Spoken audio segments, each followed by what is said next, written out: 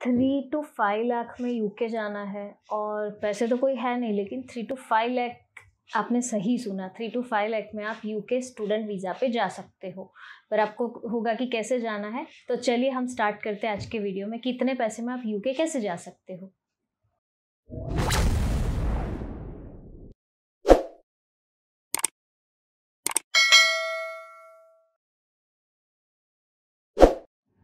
Hey friends welcome back to विदेश यात्रा channel मैं हूँ मयूरी। आज मैं आपके साथ डिस्कस करने वाली हूँ थ्री टू फाइव लाख में अगर आप स्टूडेंट वीज़ा के ऊपर आपको यूके जाना है तो ये वीडियो आपके लिए है। मोस्ट प्रॉबेबली ऐसा होता है कि बहुत सारे मिडिल क्लास के स्टूडेंट्स ऐसे होते हैं जिनको बाहर जाने होता है, लेकिन उनके पास पैसे नहीं होते हैं। बट उनके पेरेंट्स और उनकी खुद की भी इच्छा ऐसी होती है कि हम हमारी अगली जो पढ़ाई है करियर हमारा डेवलप करना है तो हम बाहर कैसे जाए? और बहुत सारे स्टूडेंट ऐसे भी है, भाई, हमको कोई भी स्टडी कोर्स दे तो हमको बाहर जाना है, लेकिन हमारे पास पैसे नहीं है। तो आज के वीडियो में मैं आपके साथ वही डिस्कस करने वाली हूँ कि अगर आपके पास three to five lakh rupees है तो टेंशन करने की बिल्कुल बात नहीं है। रेस्ट ऑफ़ पेमेंट का किस तरह से जुगाड़ करना है, वो मैं आपको पूरे वीडियो में बताऊँगी। तो सबसे पहले हम बात कर रहे हैं कि थ्री टू फाइव लाख का हम किस तरह से यूटिलाइज़ करेंगे? और उसके बाद अगर स्टूडेंट के लिए जा रहे हो तो ऑब्वियसली क्वेश्चन यही होगा कि स्टूडेंट की फ़ीस का क्या रहता है? सो so, जनरली जिसको वहाँ जाना है बट कॉलेजेस उसी तरह की सिलेक्ट करनी रहेगी जिसमें फ़ीस कम होती है टेन टू फिफ्टीन लाख होनी चाहिए। तो ये जो फ़ीस होती है फ़ीस भरने का सबसे बड़ा चैलेंज आता है। फ़ीस आपको बैंक से लोन मिल जाएगी। तो अगर बैंक से लोन मिल जाती है आपको तो आपका फ़ीस वाला जो भी स्ट्रेस था या टेंशन था वो हट गया। अब बात कर रहे हैं थ्री टू फाइव लाख की। तो थ्री टू फाइव लाख को हम ऐसे बार फॉरगेट करते हैं कि सबसे पहले आपको पासपोर्ट चाहिए। पासपोर्ट आपके पास हो जाने के बाद आप सबसे पहला काम क्या करते हो? आईएल्स के कोचिंग ज्वाइन करते हो और आईएल्स की एग्ज़ाम देते हो। तो दोनों का कोचिंग प्लस आईएल्स की फ़ीस दोनों का मिला के थर्टी थाउज़ेंड के अप्रोक्सीमेटली आपके आसपास इतना अमाउंट हो गया। उसके बाद आपका नेक्स्ट जाता है आपकी शॉपिंग शॉपिंग के लिए आपके पास होना चाहिए फोर्टी टू फिफ्टी थाउज़ेंड के आसपास आपको बेसिक वहाँ जाने के लिए जो चाहिए, इतनी चीज़ आपको मिल जाएगी। बट हाँ किसी का ऐसा भी होता है शॉपिंग करने वाले पाँच लाख की भी शॉपिंग करते, दो लाख की भी शॉपिंग करते, लेकिन वहाँ रूटीन के लिए आपको जो चाहिए, वो चालीस से पचास हज़ार के अंदर अप्रोक्सीमेटली आपका सब कुछ मिल जाता है। बाद आता है आई एच एस करके आपका मेडिकल करना रहता है, उसकी फ़ीस रहती है फोर्टी टू सिक्सटी थाउज़ेंड कभी कभी उसका डिपेंड होता है तो सेवेंटी थाउज़ेंड के आसपास हो जाती है। तो यहाँ पे आपका मेडिकल इंश्योरेंस हो जाएगा।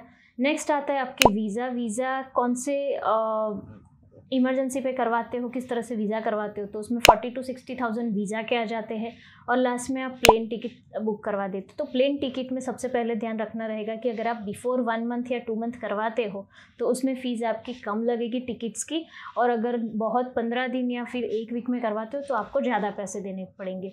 तो कुल मिला के मोटा मोटा हम काउंट करते हैं तो आपका थ्री टू फोर लैख के अंदर सब कुछ आ जाता है।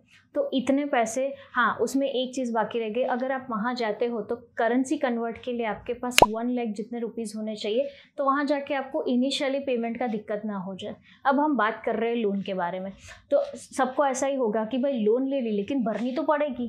पर ये लोन ऐसी होती है कि अगर आप स्टडी कर रहे हो तो वन ईयर तक आपको स्टडी बिना कुछ टेंशन के, सिर्फ़ उसके ऊपर फोकस करना है। लोन नहीं भरनी होती। जब आपका पी स्टार्ट होता है तब आप आराम से कमाते कमाते फ़ीस पे कर सकते हो।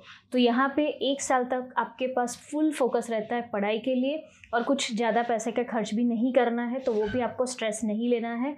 जो भी आपकी फ़ीस है पी एस डब्ल्यू के टाइम पे आप समर वेकेशन में भी जब भी एज ए स्टूडेंट होते हो तब समर वेकेशन में आप अर्न कर सकते हो और पी एस डब्ल्यू में आपको फुल टाइम भी जॉब मिल सकती तो उसी टाइम पे आपका जो भी लोन की अमाउंट है वो आराम से भर सकते हो।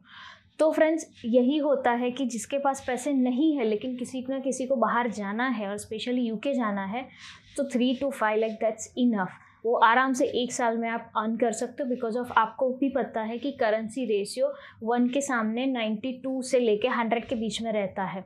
तो आप आराम से वो करेंसी कन्वर्जेशन के हिसाब से भी आप देखोगे तो अच्छा खासा वहाँ कमा के यहाँ जो भी लोन की अमाउंट है वो भी भर पाओगे और जिसके पास से अपने three to five lakh rupees भी आपके पास नहीं है ना, फिर भी आप कहीं से लिए होते हैं, किसी से उधार लिए हैं या फिर किसी के पास से ब्याज से लिए होते वो भी आप आराम से दे सकते हो।